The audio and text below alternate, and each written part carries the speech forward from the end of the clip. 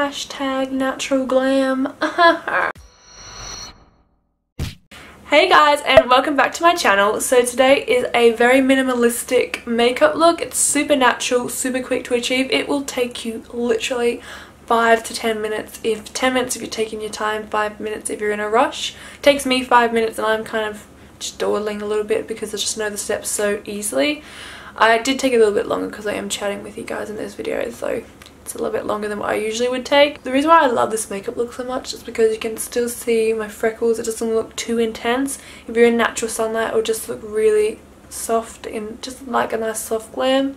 something I'd like to wear like an everyday basis. It's not heavy on the skin. It just feels nice. There's no foundation in this look, guys.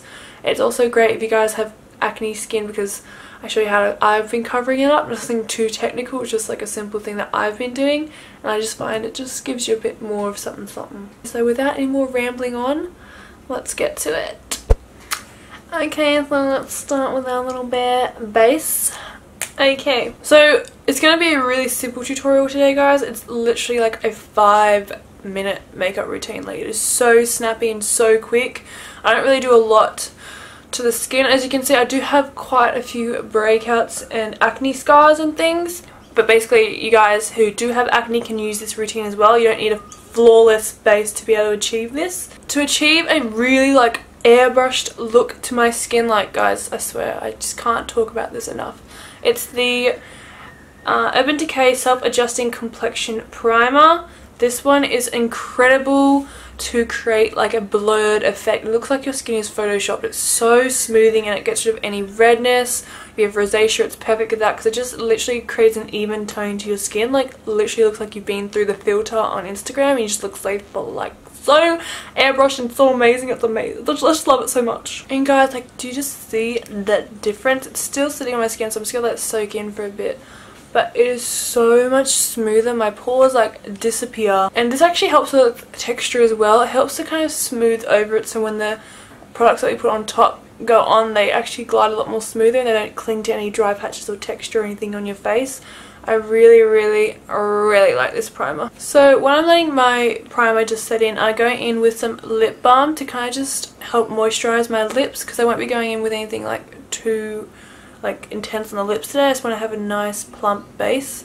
So I just like apply it on so I can kind of settle in and moisten my lips as I do the rest of my makeup. Finally for primers, I'm going to take my Skindinavia Makeup Primer Spray in Oil Control.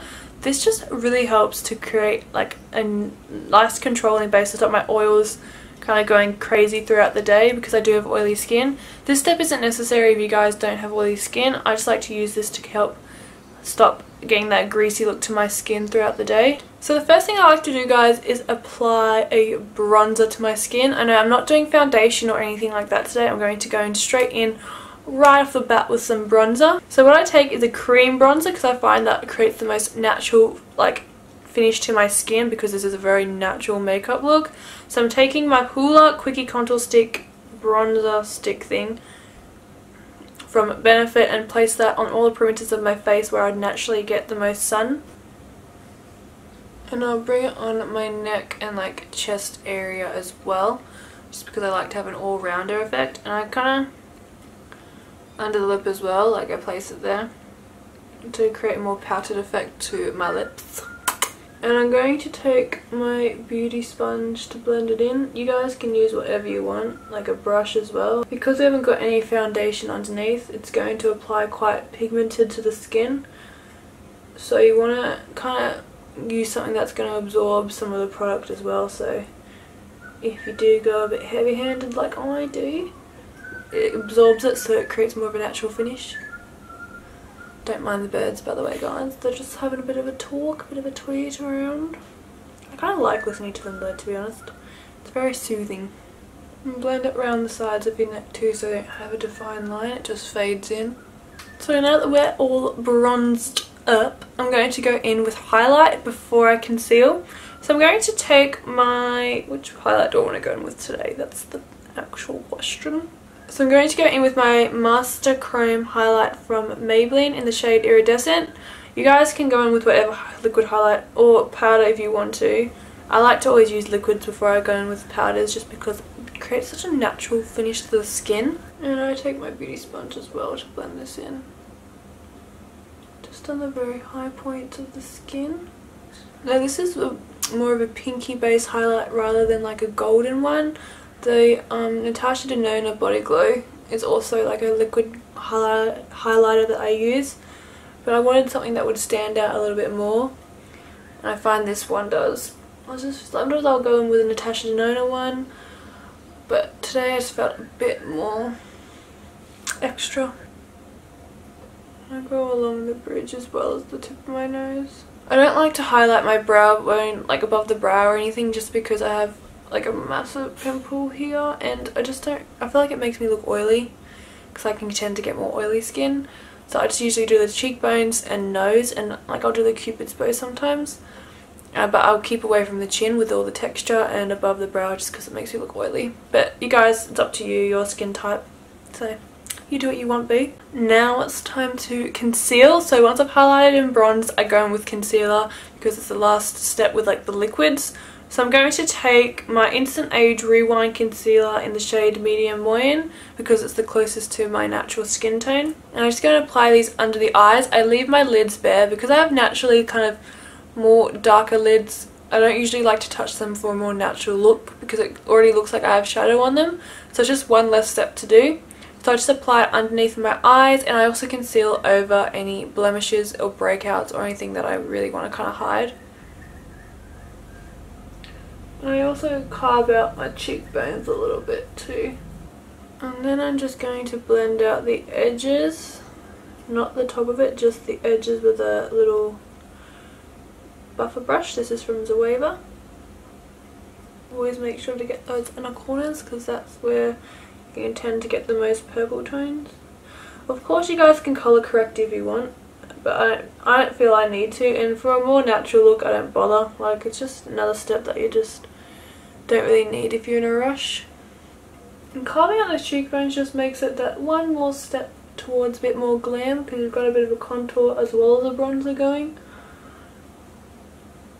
And you're just using less products at the same time, like you won't have to go in with a contour powder or cream or anything. It's just done so easily. And I just also find going with concealer also helps me cover up if I've done a bit too much bronzer on the nose area, which I can tend to do a little bit. It just kind of evens out the tones a bit more, so that's why I like to do concealer last. And look at that, like just so much better when concealer is added. It just looks so much more fresh-faced and awake. Oh. And then for powder guys, I'm just going to take my Eglips pressed powder in 21 and press that in with a dry beauty sponge to really just kind of push it into the skin to set it, set that concealer. And I push it into my T-zone and also on that little blemish where I've concealed to help stop from getting oily throughout the day and set that little baby in place.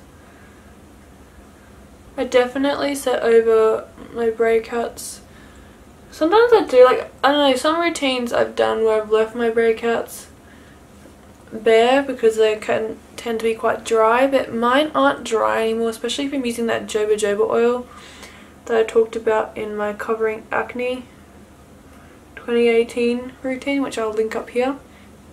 I find that they're actually not crusty or dry anymore, they're just there. So I'm just kind of setting over them to make sure that that concealer doesn't move and also just add a little bit more coverage to them. And just pressing all of that powder into the skin, like I said, wherever I've concealed, so under those cheekbones. Then I take my um, Urban Decay All Nighter Setting Spray and just spritz my face to lock that powder in place. So finally for brows, I'm very blessed where I have quite a nice shape and fullness to my brow. So really all I do is just go in with a tinted brow gel to help keep them in place. If you guys find you don't have a full brow or you like to kind of do a bit more to them, then feel free in the step to do more. But because usually I'm doing this in a rush and I don't want to look too glammed up, I just whack this through them. There we go. Our brows are done. That's how quick and easy that is. Like it's so quick. It takes me like two seconds. So finally, basically all I do is add a bit of powdered highlight to my cheekbones and on the tip of my nose.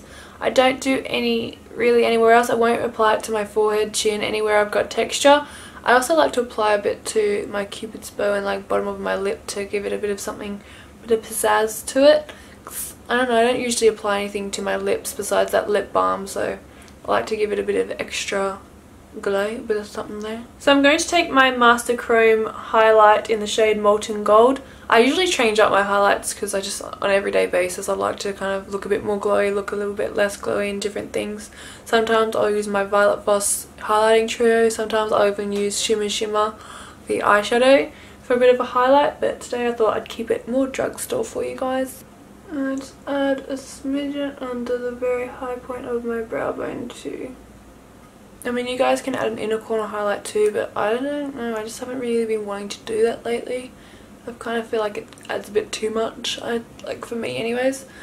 I won't even bother with mascara either, like this is literally it guys, like it can be done and dusted and out the door. And with my highlight, I actually don't want it too intense for like an everyday thing, so I just do a little bit of like a swipe. I don't keep applying it, keep applying it, and because that Maybelline one can be quite intense, I don't apply too much just a soft little bit. Even on the lips I haven't done like as heavy as I usually do it because I do want this to be more natural. Then I finish off with one more little spritz from my Urban Decay All Nighter Setting Spray. And literally that is me done. Ah, oh! So if you guys did enjoy this video, make sure to give it a big thumbs up for me. I really hope you did enjoy it. And subscribe down below if you haven't already so you guys can join my YouTube fam and like I can see you in my next video. Otherwise guys, I did hope you enjoyed this video. I have pre-filmed this makeup tutorial so if you guys are commenting down below and I haven't replied back to you straight away, I am sorry. I am still thinking about you. I'm carrying you all with my heart in with my heart. But I'm currently away. I'm traveling around Greece so I will get back to you when I can. Um, just know that I am thinking about you I'm not forgetting, like just ignoring you. I do want to reply back as soon as I can. Hi. But yeah, hope you guys enjoyed this video and I'll see you soon. Bye!